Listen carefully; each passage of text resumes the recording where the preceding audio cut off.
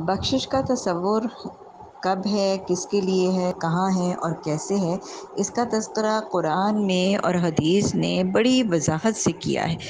और बख्शिश मांगने के तरीके भी सिखाए गए हैं और किन की बख्शिश है और किन की नहीं है, ये तस्वुरात बहुत वजाहत से बताए गए हैं। जैसे अगर तस्करा कर दिया जाता है कि एक हाजी जो है, वो क़यामत के दिन अहराम ही की हालत में उठेगा और वो तलबिया पुकार रहा होगा।